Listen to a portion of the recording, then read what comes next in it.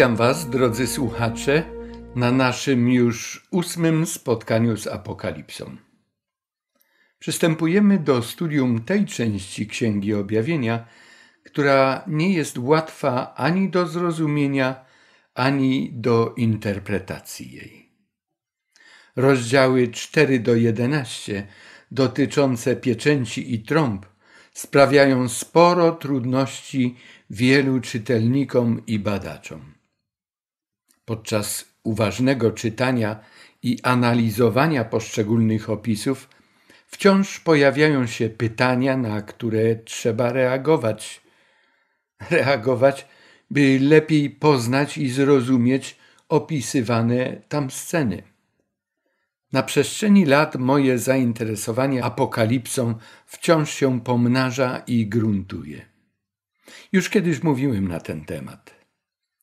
Kontakt z opracowaniami chrześcijańskich autorów sprzyja szerokiemu oglądowi rozmaitych podejść do treści tej księgi. Wśród wielu komentatorów tekstu Apokalipsy najbliższym mojego rozumienia tych proroctw jest pogląd doktora Jon Polina, profesora interpretacji Nowego Testamentu Seminarium Teologicznego na Uniwersytecie Andrewsa w Stanach Zjednoczonych.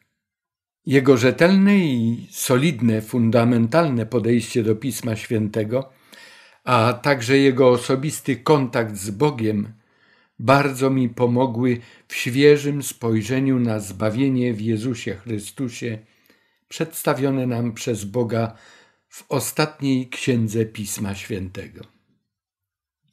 Podczas różnych międzynarodowych spotkań i konferencji biblijnych, na których służyłem także jako tłumacz wykładów biblijnych profesora Jona Polina, miałem sporo okazji, by to zaobserwować i przeżyć.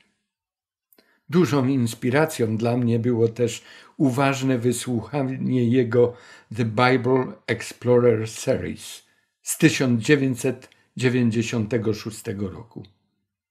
Tamto doświadczenie w dużej mierze, obok jeszcze innych czynników, mobilizowało mnie i mobilizuje nadal do przygotowywania tych naszych spotkań z Apokalipsą.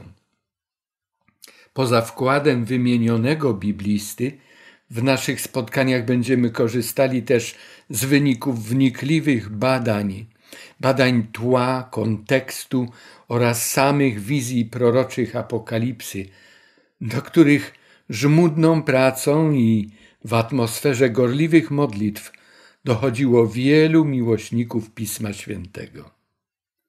Jest ich naprawdę wielu.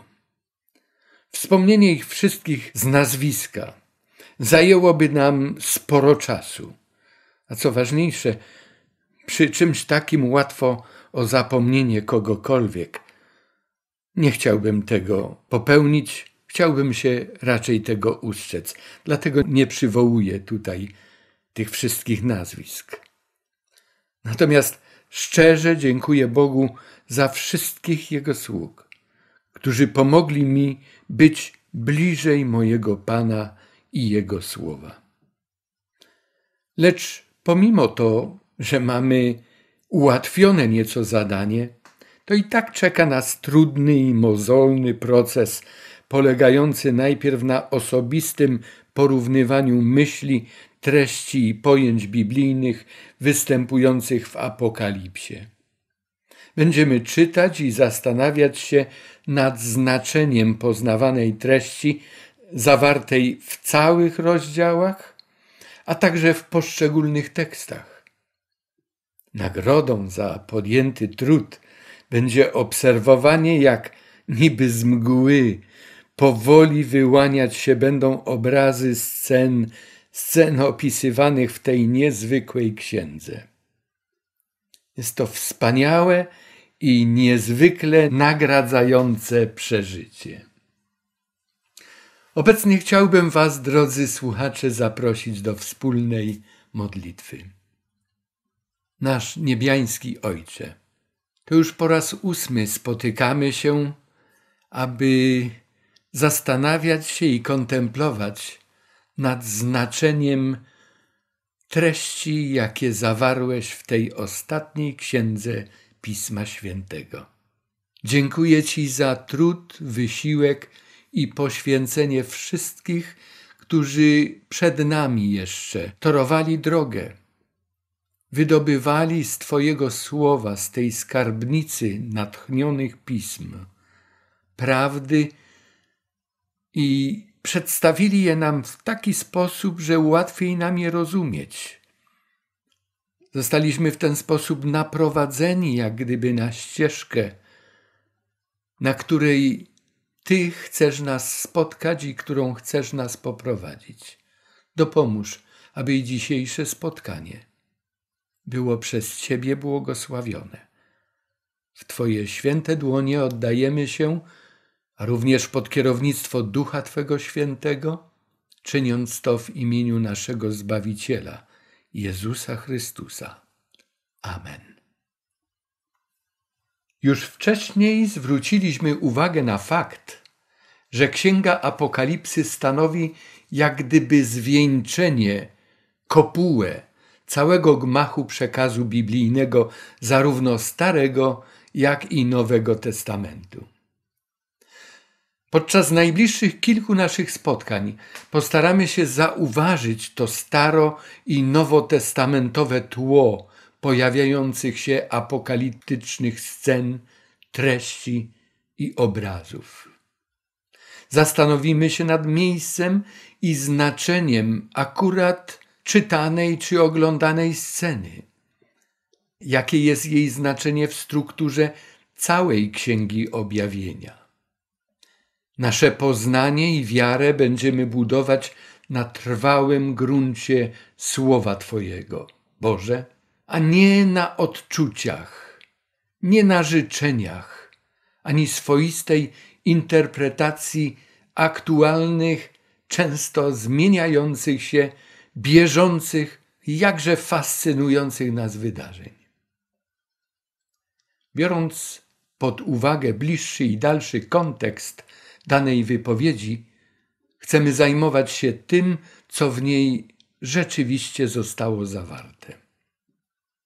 A uwzględniając specyfikę środowisk, do których kierowane było to przesłanie, będziemy mogli lepiej rozumieć też ważność zastosowania tych treści zarówno w czasie ich powstania, w historii chrześcijaństwa, a także w naszym osobistym życiu, w naszym chodzeniu z Tobą.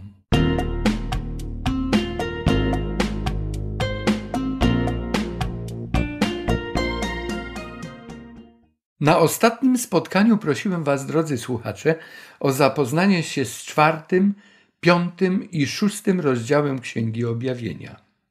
Dzisiaj chcemy skorzystać z tego dobrodziejstwa, jakim jest wcześniejsze poznanie badanego tekstu. Dobrze będzie, jeżeli na początku razem przeczytamy czwarty rozdział Apokalipsy. Potem widziałem, a oto drzwi były otwarte w niebie. I głos poprzedni, który usłyszałem, jakby głos trąby rozmawiającej ze mną, rzekł: Wstąp tutaj, a pokażę ci, co się ma stać potem. I zaraz popadłem w zachwycenie. A oto tron stał w niebie, na tronie zaś siedział ktoś.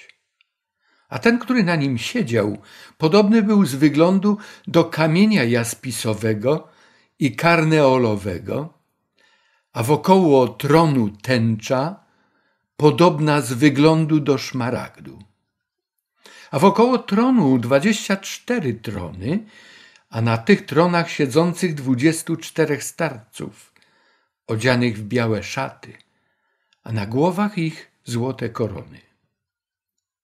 A z tronu wychodziły błyskawice i głosy i grzmoty, przed tronem zaś płonęło siedem ognistych pochodni, to jest siedem duchów bożych. Przed tronem także jakby morze szkliste podobne do kryształu, a w pośrodku wokoło tronu cztery postacie pełne oczu z przodu i z tyłu Postać pierwsza była podobna do lwa. Postać druga była podobna do cielca. Postać trzecia miała twarz jakby człowieczą, a postać czwarta podobna była do orła w locie. A każda z tych czterech postaci miała po sześć skrzydeł, a wokoło i wewnątrz były pełne oczu i nie odpoczywając ani w dzień, ani w nocy śpiewały. Święty, święty, święty jest Pan, Bóg Wszechmogący, który był i który jest i który ma przyjść. A gdy postacie oddadzą chwałę i cześć, złożą dziękczynienie temu, który siedzi na tronie, który żyje na wieki wieków, upada dwudziestu czterech starców przed tym, który siedzi na tronie i oddaje pokłon temu, który żyje na wieki wieków i składa korony swoje przed tronem, mówiąc: Godzien jesteś, Panie i Boże nasz, przyjąć chwałę i cześć i moc, ponieważ Ty stworzyłeś wszystko i z woli Twojej zostało stworzone i zaistniało. Taka jest treść czwartego rozdziału. Chciałbym zwrócić uwagę Waszą w tej chwili, powołując się na to, że przeczytaliście ten rozdział wcześniej, przed naszym spotkaniem. Chciałbym skierować Waszą uwagę na pewien proces obserwacji, e, na potrzebę uważnego czytania ze zrozumieniem tego czwartego rozdziału. Pomocą będą mi tutaj trzy pytania. Pierwsze. Możecie teraz mieć otworzone Pismo Święte. Czwarty rozdział. W ogóle dobrze, gdy macie je otworzone podczas naszych spotkań. I pierwsze pytanie, które chciałbym Wam zadać, brzmi: jakie kluczowe słowo, albo scena czy motyw przewija się najczęściej przez cały czwarty rozdział Apokalipsy? Chyba nie powinno być większych kłopotów, jeżeli zadanie było solidnie odrobione, ale idźmy dalej, bo tym słowem jest tron. Słowo to pojawia się 14 razy w tym rozdziale. 13 razy brzmi tron, a w 14 rozdziale jest w zaimku ukryty ten rzeczownik. Wszystko, co Jan widzi, dzieje się wokół, obok, nad tronem. Wszystko koncentruje się na tronie i na tym, co się tam dzieje, na tym, który zajmuje ten tron. Pytanie drugie. Czym jest tron? Co oznacza to słowo? Szczególnie w tym kontekście czwartego rozdziału. Prawo do panowania, a może władzę, autorytet, króla, królestwo? Główną sprawą pojawiającą się tutaj i podkreślaną w czwartym rozdziale to kwestia kto i dlaczego, na jakiej podstawie ma prawo do panowania we wszechświecie. Popatrzmy na ten czwarty rozdział, a w nim kolorami zaznaczone te myśli, na które zwracaliśmy do tej pory uwagę. Na czerwono mamy wszędzie zaznaczone te miejsca, gdzie występuje słowo tron. W wierszu trzecim tego rozdziału jest powiedziane, a ten, który na nim siedział, czyli na tronie siedział. To jest ten czternasty przypadek, gdzie, mówiłem, słowo tron się pojawia. Białym kolorem jest zwrócona uwaga która pomoże nam znaleźć odpowiedź na pytanie drugie. Kim jest ten, który zasiada na tronie? Dlaczego, na jakiej podstawie on może panować. A więc w wierszu ósmym jest powiedziane, to jest treść tej pieśni, tego hymnu, święty, święty jest Pan, Bóg Wszechmogący, który był i który jest i który ma przyjść. A więc z uwagi na to, kim jest ta osoba. W wierszu dziewiątym jest powiedziane, ta istota żyje na wieki. Powtórzone jest to w wierszu dziesiątym. I w wierszu jedenastym jest pełna odpowiedź. Godzien jesteś, Panie i Boże nasz, przyjąć chwałę i cześć i moc, ponieważ Ty stworzyłeś wszystko i z woli Twojej zostało stworzone i zaistniało. Czyli ten, który zajmuje tron, to jest wszechmogący, wiecznie żyjący, Stwórca i władca wszystkiego. Kolejne pytanie. Czy w Biblii istnieje jakieś wcześniejsze przesłanie, wcześniejsza wizja tronu Boga, która by była podobna do tej, jaką Jan opisuje w tym rozdziale? Tutaj trzeba nam będzie sięgnąć pamięcią do tego, o czym czytaliśmy może niejednokrotnie już w Starym Testamencie na temat Bożego Tronu. Na ekranie mamy teksty, gdzie opisany jest tron Boży. Tron Boży na górze Synaj, w Księdze Wyjścia w XIX rozdziale, w pierwszej Księdze Królewskiej w 22 rozdziale i wskazanych tekstach jest to tron, który pokazany został Micheaszowi. W księdze Daniela w siódmym rozdziale od wiersza dziewiątego do trzynastego również opisana jest scena sądu. W szóstym rozdziale Izajasza jest to wizja podczas powołania proroka na jego urząd. Również prorok ogląda tron Boży i Ezechiel Cały pierwszy rozdział jest wizja, którą otrzymał prorok w czasie, gdy był przez Boga powołany do funkcji proroka, na urząd proroka.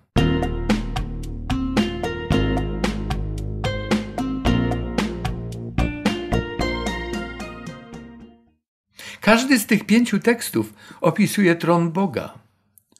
Cztery razy są to wizje dane w niebie i jeden raz opis tego, jak Bóg stępuje i zajmuje to najważniejsze miejsce na górze Synaj. Jak mówiliśmy w objawieniu, jak w kopule mamy zebrany cały biblijny materiał na temat tronu Bożego. Który z powyższych opisów może stanowić tło dla rozdziału czwartego objawienia? W księdze Ezechiela pierwszy rozdział, gdy przeczytamy, szczególnie te teksty, które wybrałem i wyświetliłem na ekranie, zorientujemy się, że ta wizja jest bardzo podobna do tej, którą ogląda Jan na wyspie Patmos. Występują tam te cztery żywe istoty, cztery postacie, cztery zwierzęta, opisane jest to, co otacza tron Boży, również sam tron. Ktoś, kto zajął się dokładnie analizą tego tekstu i analizą czwartego rozdziału Apokalipsy, stwierdza, że 33% słów w treści czwartego rozdziału Apokalipsy znajdujemy tutaj w Ezechielu w pierwszym rozdziale. Co tak naprawdę oglądamy w rozdziale czwartym? Czy jest to opis jakiegoś konkretnego wydarzenia, które następuje i ono jest pokazane? Czy jest to też może scena ogólnej rzeczywistości, jaka istnieje wokół tronu Bożego, tam w niebie, gdzie On zasiada jako władca całego wszechświata? Popatrzmy na wiersz drugi. I zaraz popadłem w zachwycenie, a oto tron stał w niebie, a na tronie zaś siedział ktoś. Wiersz dziewiąty do jedenastego. A gdy postacie oddadzą chwałę i cześć i złożą dziękczynienie temu, który siedzi na tronie, który żyje na wieki wieków, upada dwudziestu czterech starców przed tym, który siedzi na tronie i oddaje pokłon temu, który żyje na wieki wieków i składa korony swoje przed tronem, mówiąc, godzien jesteś, Panie, Boże nasz, przyjąć chwałę i cześć i moc, ponieważ Ty stworzyłeś wszystko i z woli Twojej zostało stworzone i zaistniało. Wizja więc nie dotyczy jakiegoś konkretnego wydarzenia. Janowi w wizji po prostu pokazano tron w niebie i co się tam w niebie dzieje w związku z istnieniem tam tronu. Jest to scena nieba i tronu Boga i tego, co tam bezustannie trwa bezustannie następuje, bezustannie dzieje się. Konieczność uważnego czytania Biblii, konieczność koncentracji na tym, co zawarte jest w tekście, jest nie do przecenienia. Ważne jest to, abyśmy, gdy czytamy uważnie dany tekst, obojętny jaki tekst, ale szczególnie teksty natchnione, abyśmy nie wprowadzali do nich własnych naszych pojęć. Że coś podczas czytania nam się przypomina i nagle chcielibyśmy tę myśl wtłoczyć w to, czego w danym tekście akurat nie znajdziemy. To moglibyśmy porównać, jak e, profesor Jon Polin mówił, do kursu fotografii, w którym brał udział. Instruktor próbował ukształtować ich tak, aby fotografując zajmowali się określonym tematem. I na danych zajęciach były tematy albo twarze, twarze ludzkie, różnych ludzi, ale nic innego, tylko twarze. Albo drzewa, albo kwiaty, albo woda, całej rozmaitości i wszędzie, gdziekolwiek się znaleźli. Chodziło temu instruktorowi o wyostrzenie zmysłu zauważania tego, czego normalnie się nie widzi, nie zauważa. Chodzi o ukształtowanie u siebie umiejętności obserwacji zdarzeń i treści, skupienia się na nich dokładny ogląd. Podobnie czytając dany tekst, uczmy się zauważania w tym tekście tego, czego nie da się zaobserwować przy pobieżnym czytaniu. Czytajmy go wielokrotnie i zauważymy, że za każdym razem zobaczymy coś więcej, czego nie widzieliśmy poprzednio. Po jakimś czasie zaczniemy więcej spostrzegać, więcej zauważać, więcej kojarzyć i rozumieć. Tak będziemy kształtować biblijne myślenie. Kształtować, powtarzam, spostrzegać, zauważać, kojarzyć to, co jest w tekście, cośmy wyczytali, a nie to, co w naszej głowie już się znajduje czasem, zanim przystępujemy do czytania. Ważne jest, aby zwracać uwagę na kluczowe postacie, na słowa, na wyrażenia, na czas i miejsce danej akcji, aby nauczyć się odróżniać sceny ogólne od scen szczegółowych. Opisy generalne od opisów związanych z jakimś konkretnym działaniem.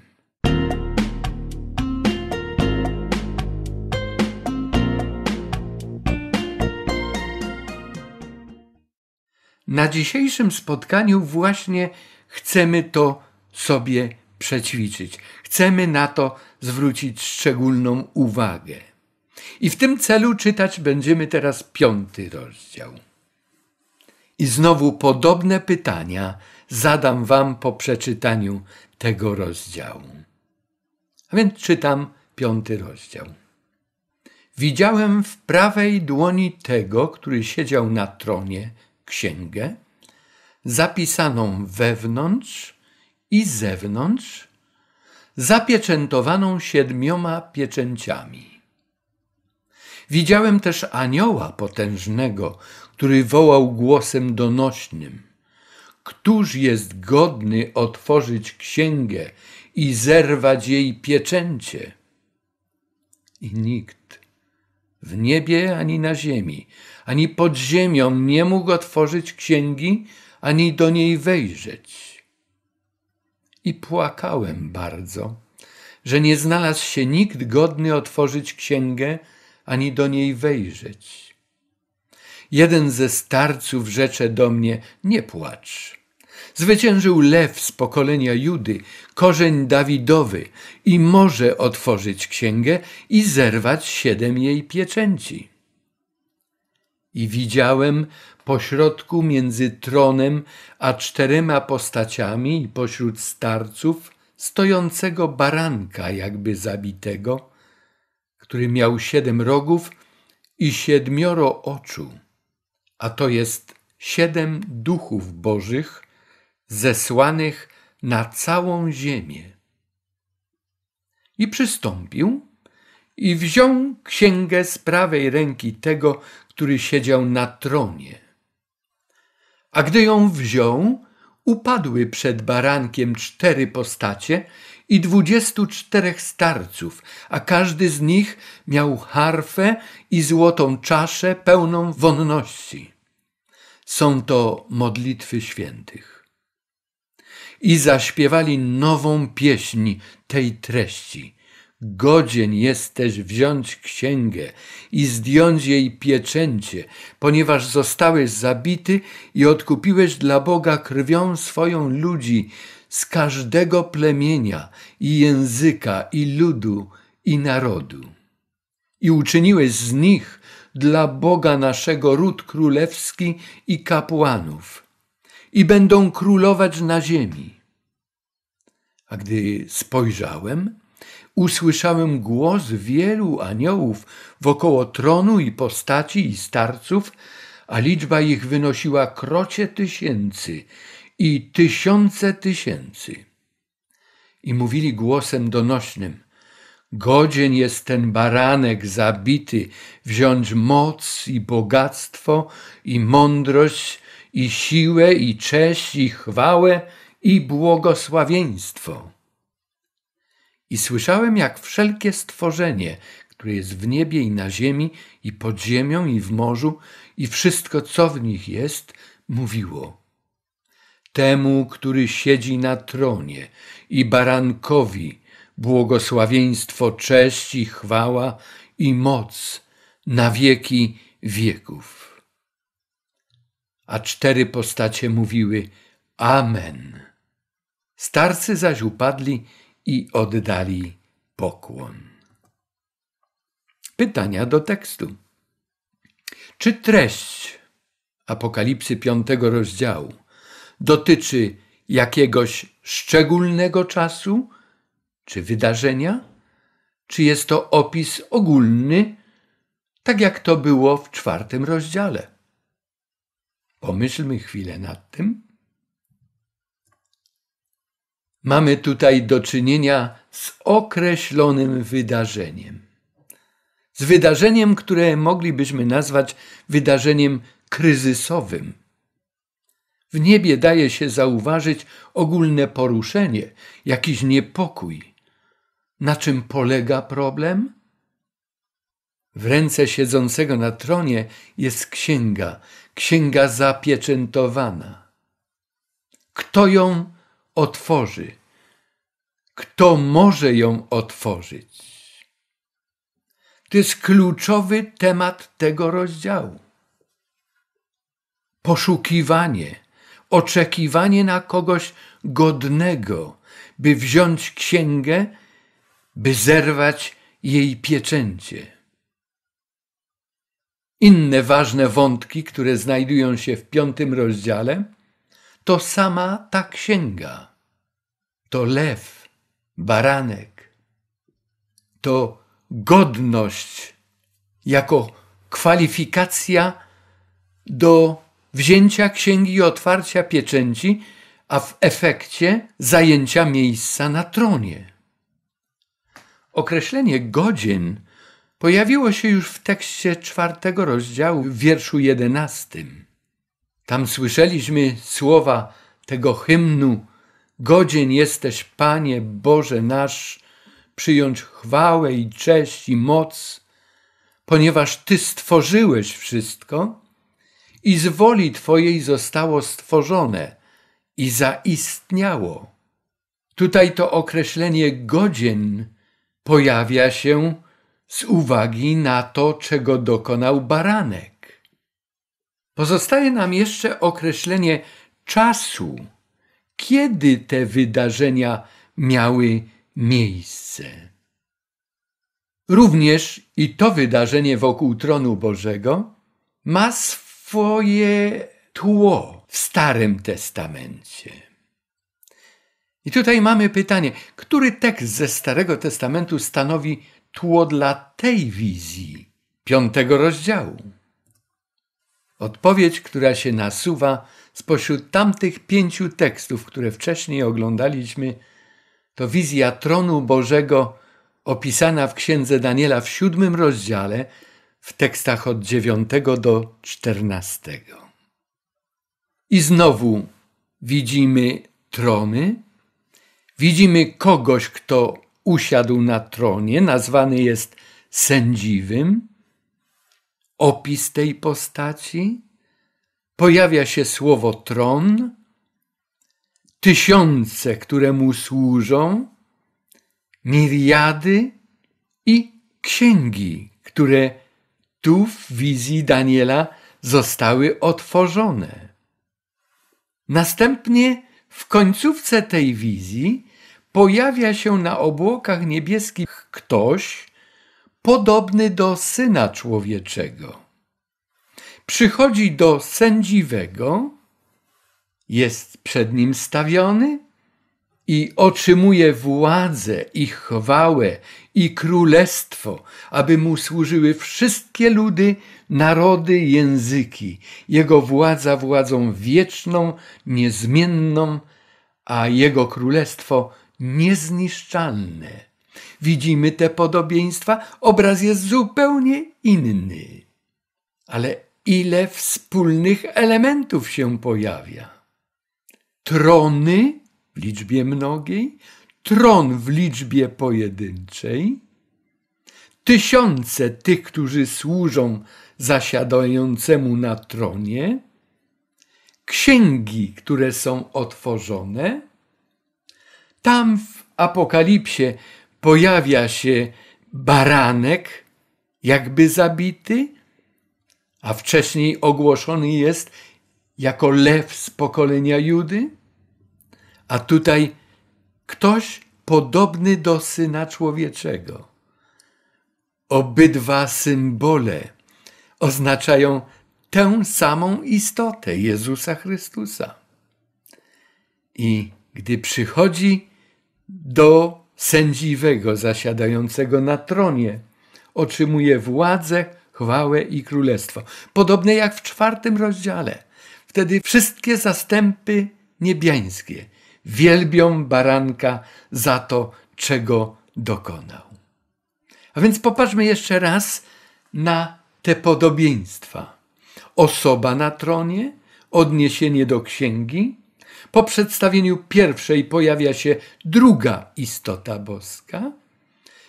Ta druga istota otrzymuje panowanie i władzę od tej pierwszej, a temu wszystkiemu towarzyszą święte istoty i miliady aniołów.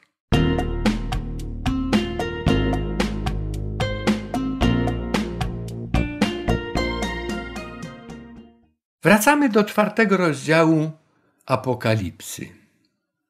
Dlaczego lew, jak najpierw określono tę istotę, a później baranek, jest godzien? Jak uzyskał tę godność? Prześledźmy to w piątym rozdziale Apokalipsy. W wierszu piątym jest powiedziane, że zwyciężył. Dlatego może otworzyć księgę i zerwać jej pieczęci. W wierszu szóstym jest to baranek jakby zabity. Tak on oddał życie, ale on zmartwychwstał.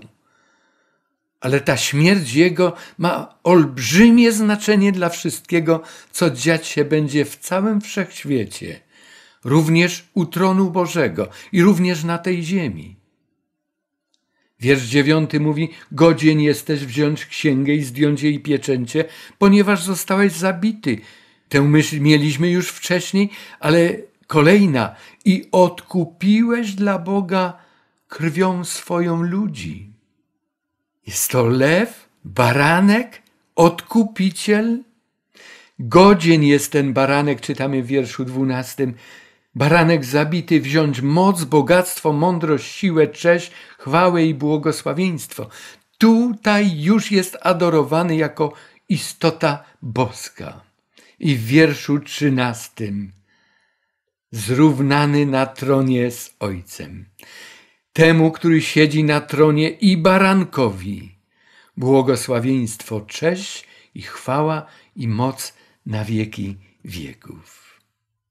Przeanalizujmy ten zapis z piątego rozdziału, jeszcze raz wyjęty z tekstu. Lew, baranek, odkupiciel to Jezus, człowiek, Chrystus, Bóg. Jako istota ludzka i boska zasiada razem z Ojcem na tronie wszechświata. Lew z pokolenia Judy jest ten zapowiadany przez proroków król Izraela. Tutaj ukazany jest jako baranek, ale korzeń Dawidowy. Jest on kimś szczególnym. W czwartym i piątym rozdziale spotykamy się z wieloma hymnami wznoszonymi dla uwielbienia istot, dla których są śpiewane istoty wielbione. Czwarty rozdział, wiersz ósmy, to jest Pan, Bóg Wszechmogący. W wierszu jedenastym czwartego rozdziału to jest Stworzyciel wszystkiego. W piątym rozdziale wielbiony jest baranek zabity, dlatego że odkupił i zbawił ludzi.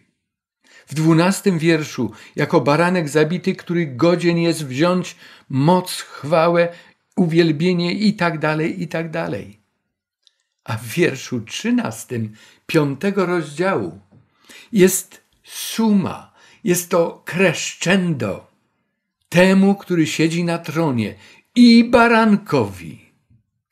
Błogosławieństwo, cześć, chwała i moc na wieki wieków. W czwartym rozdziale, w wierszu jedenastym, wielbiony jest Bóg jako stworzyciel, a tutaj jest wielbiony odkupiciel rodzaju ludzkiego i Stwórca razem zajmują ten tron. Plan zbawienia człowieka jest realizowany. Cena została zapłacona. Dlatego całe niebo wielbi za to te istoty boskie. Pierwsze dwa hymny wielbią siedzącego na tronie. Kolejne dwa wielbią baranka. Piąty hymn jest wzniesiony dla obu zasiadających na tronie. Jest to dynamiczna akcja opisana w rozdziałach czwartym i piątym. Ona się rozwija i narasta do chwili, gdy ojciec i syn razem zasiadają na tronie wszechświata.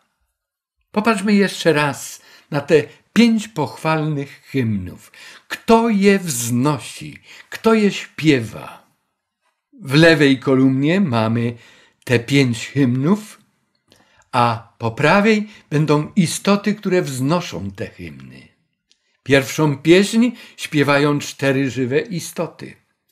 Drugą dwudziestu czterech starców. Piątym rozdziale pierwszą pieśń śpiewają cztery żywe istoty i dwudziestu czterech starców. A więc popatrzmy, ten chór się pomnaża. Jest coraz więcej w nim istot.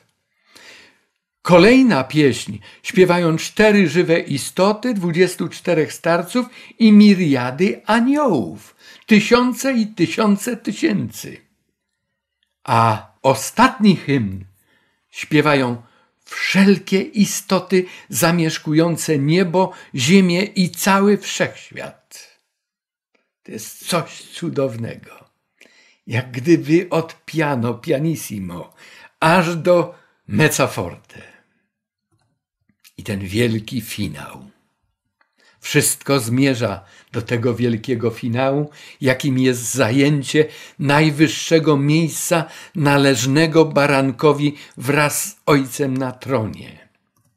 Mieszkańcy nieba witają na nowo swojego Pana, który kiedyś opuścił to miejsce, by udać się na ziemię, by tam jako baranek Boży oddać życie za grzesznych ludzi, by przywrócić ich do godności, ludzi przywrócić do godności dzieci Bożych po zwycięskim, bezgrzesznym życiu, po śmierci zastępczej, po spełnieniu na ziemi misji Syna Bożego, wraca on do domu, wraca do swego Ojca, wraca jako bohater, by znowu razem ze swym Ojcem zasiąść na tronie wszechświata.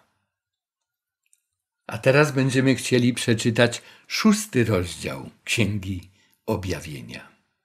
Czytam go i widziałem, jak baranek zdjął pierwszą z siedmiu pieczęci i usłyszałem głos jednej z czterech postaci, donośny jak grzmot, mówiący chodź.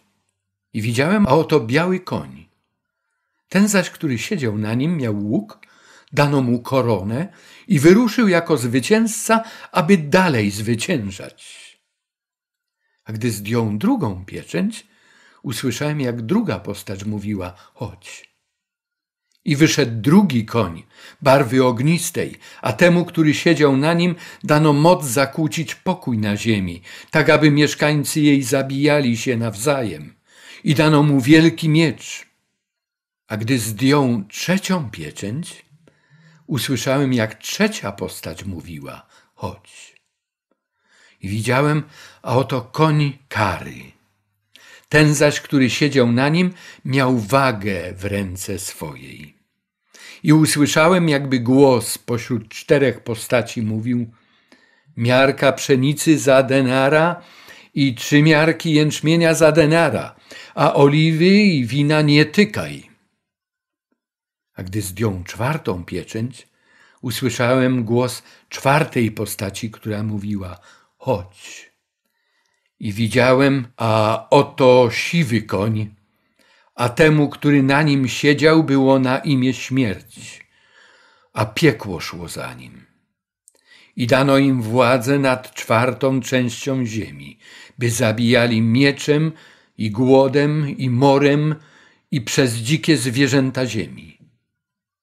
A gdy zdjął piątą pieczęć, Widziałem poniżej ołtarza dusze zabitych dla Słowa Bożego i dla świadectwa, które złożyli. I wołały donośnym głosem: Kiedyż, Panie, święty i prawdziwy, rozpoczniesz sąd i pomścisz krew naszą na mieszkańcach ziemi? I dano każdemu z nich szatę białą, i powiedziano im, aby jeszcze odpoczęli przez krótki czas, aż się dopełni liczba współsług i braci ich, którzy mieli podobnie jak i oni ponieść śmierć. I widziałem, gdy zdjął szóstą pieczęć, że powstało trzęsienie ziemi i słońce pociemniało jak czarny wór, a cały księżyc poczerwieniał jak krew. I gwiazdy niebieskie spadały na ziemię, podobnie jak drzewo figowe zrzuca figi swoje, gdy wiatr gwałtowny nim począśnie. I niebo znikło, jak niknie zwój, który się zwija, a wszystkie góry i wyspy poruszone zostały z miejsc swoich. I wszyscy królowie ziemi, możnowładcy, wodzowie, bogacze, mocarze, wszyscy niewolnicy i wolni, ukryli się w jaskiniach i skałach górskich i mówili do gór i skał: Padnijcie na nas, zakryjcie nas przed obliczem tego, który siedzi na tronie i przed gniewem baranka, albowiem nastał ów wielki dzień ich gniewu. I któż się ostać może?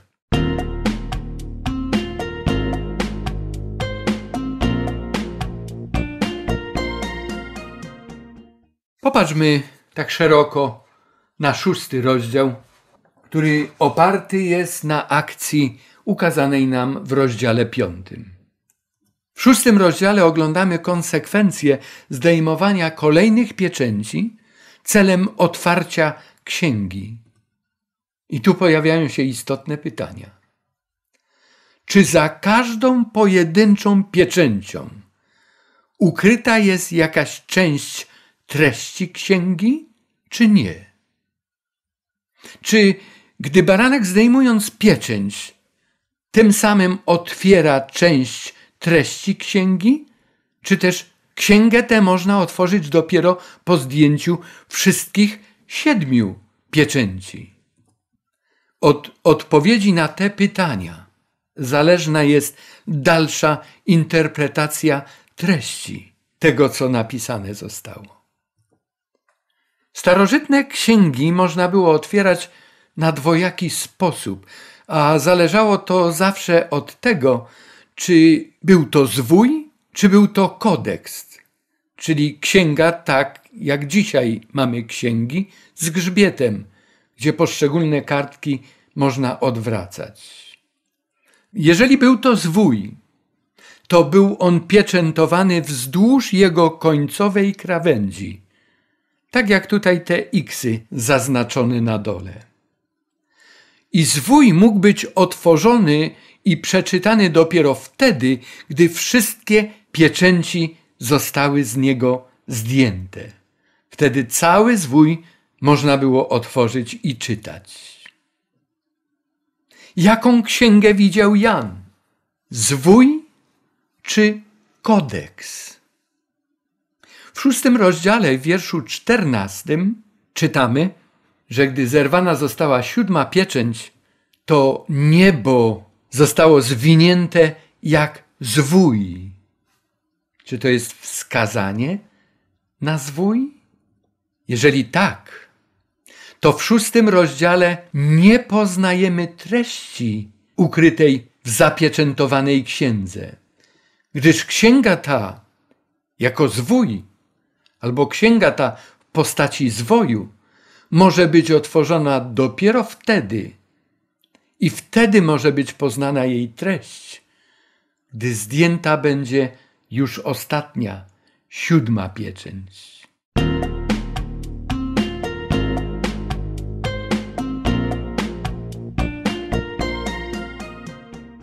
Czy wydarzenia dziejące się przy odpieczętowywaniu księgi następują w niebie czy na ziemi?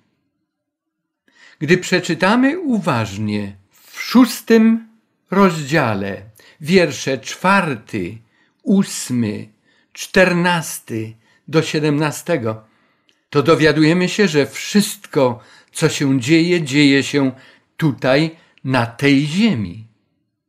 Jak i czym kończy się szósty rozdział? Powtórnym przyjściem Jezusa Chrystusa i pytaniem, kto się może ostać wobec tego wydarzenia.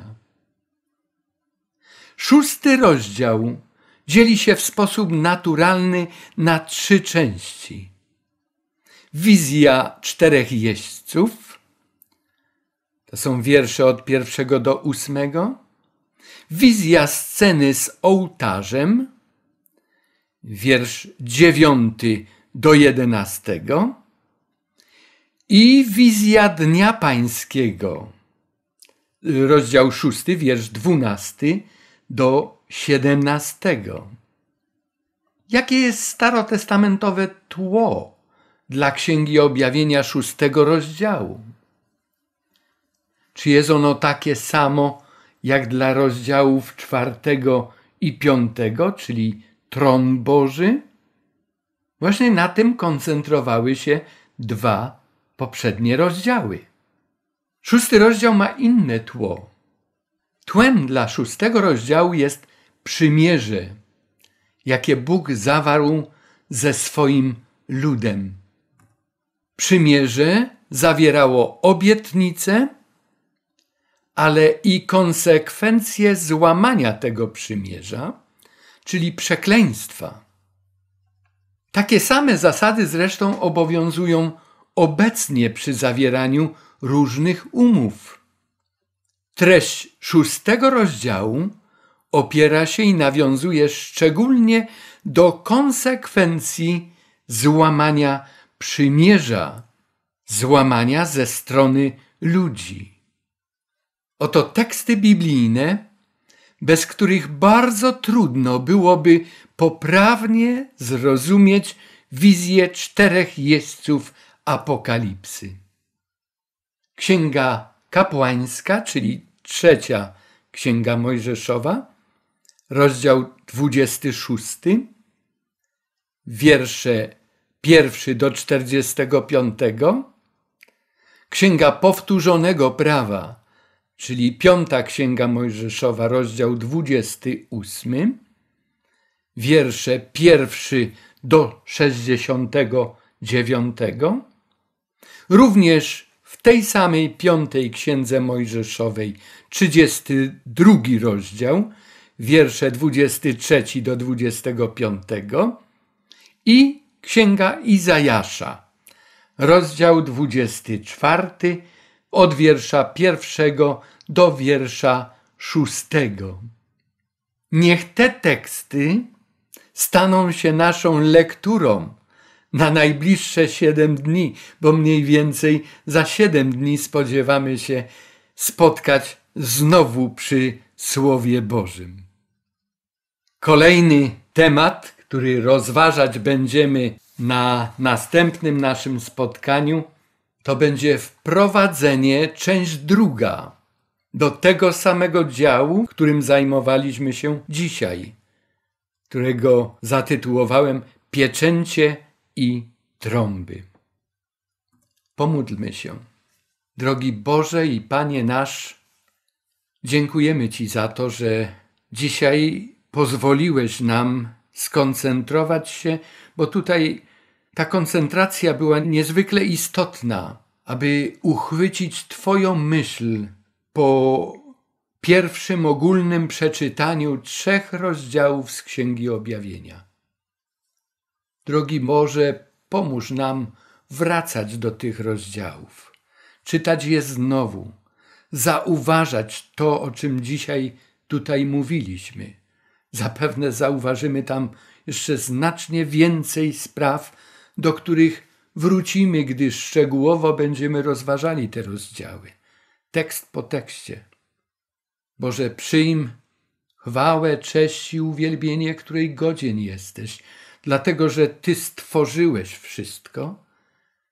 Wielbimy również naszego Zbawiciela za to, że jest naszym odkupicielem, że jest godzien wejrzeć w historię, wejrzeć w księgi, w Twój zapis, dlatego że oddał swoje życie za nas.